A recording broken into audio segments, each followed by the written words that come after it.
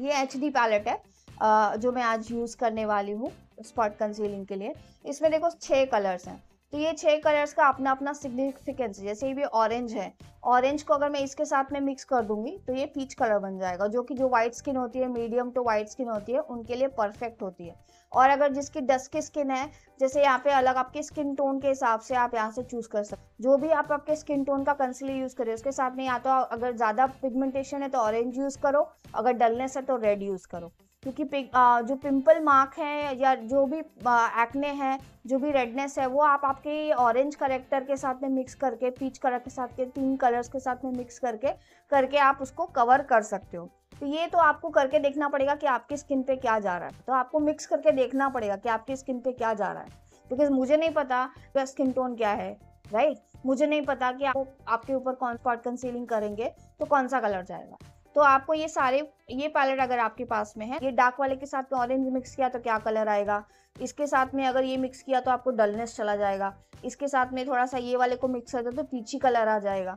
तो ये आपको सारे इंडियन स्किन टोन पे चल जाते हैं। ये वाला कलर यूज़ करने वाली बिकॉज़ ये परफेक्टली मेरे स्किन टोन के साथ में, आप देखोगे तो वन स्किन टोन डीपर है, जो मेरे सारे पिगमेंटेशन को, जितने भी अनइवननेस है उसको वो क्लीन कर देगा। बहुत थोड़ा सा मैंने ये मिक्सिंग प्लेट पे ले लिया ये जो स्पैचुला है, इसको क्लीन कर लेना है हाथ से।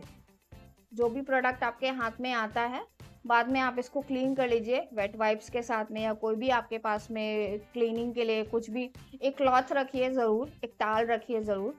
और सबसे इंपॉर्टेंट प्रोडक्ट यूज़ किया, आप तुरंत इसको बंद करिए। प्रोडक्ट्स को सैनिटाइज करते रहिए टाइम टू टाइम ताकि वो लॉन्ग टर्म के लिए यूज़ हो। अभी जैसे देखो, ये मैं हाफ़ फेस पे करके दिखा रही हूँ, इसलिए मैंने बहुत ही कम प्रोडक्ट लिया आप देखोगे, बहुत ही छोटू सा लिया है मैंने। अभी मैं इसको क्या करूँगी? एक्टिवेट करूँगी। कैसे एक्टिवेट करूँगी इसको? अपने हाथों, अपनी फिंगर की वॉर्म्थ से इसको एक्टिवेट करूँ। सबसे पहले मैं कहाँ यूज़ करूँगी? मेरे माउथ एरिया पे।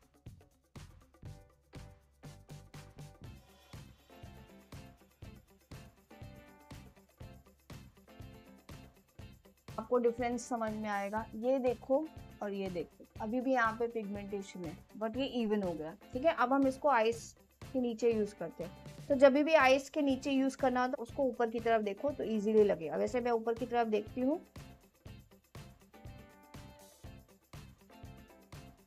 हमको ज़्यादा अंदर की तरफ़ नहीं लेके जाना है।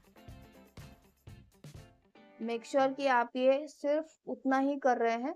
जितना रिक्वायर्ड है, बहुत अंदर तक लेकर के नहीं जाना। बाद में वो पाउडर से थोड़ा सा हम पाउडर लगाएँगे तो वो सेट हो जाएगा। अभी मैं थोड़ा सा मेरे आइस पर भी थोड़ा पिगमेंटेशन हो रहा है तो मैं क्या करूँगी, थोड़ा इसको मेरे आइस पर भी ऐसे लगा दूँ।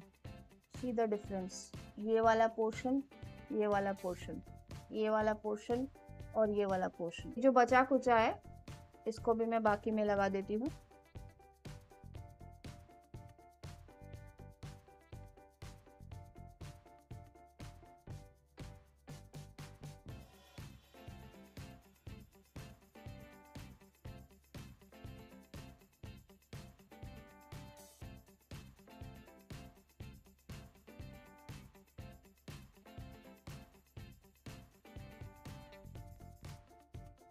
Can you see a difference ये देखो ये देखो ये देखो।